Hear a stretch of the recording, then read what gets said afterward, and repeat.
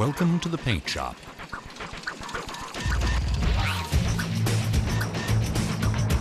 On today's work order,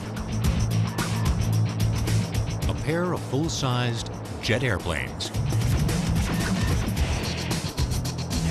Obviously no ordinary paint shop. It's Goodrich Aviation's paint hangar near Seattle. The most pressing projects today are a 737 passenger aircraft and this 757, a courier plane for UPS, which will be decked out in gold, white,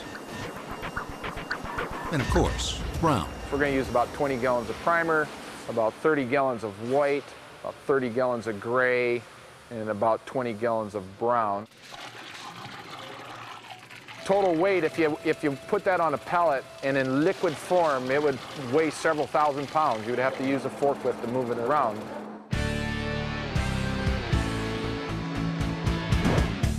The aircraft has already been stripped of its old paint, given a chemical conversion coating, sprayed with anti-corrosive epoxy primer, clean, sanded, and prepped. It's already had the acid etch, the conversion coating, and the epoxy primer. Last night, uh, we painted the white top coat on the aircraft, the decorative top coat. We're in process right now, as you can see, of masking off the lines and prepping for the brown. Airplane paint must be mixed and remixed. with various drying solvents and catalysts until it reaches the perfect consistency. The crew wastes no time in getting it into five-gallon pressure pots.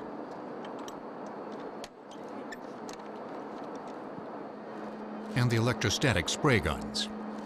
Electrostatic means that there is a grounded charge to the aircraft and the gun has a generator inside the gun that produces a positive charge. It allows the paint to transfer to the aircraft instead of overspray going all over everything that's around you.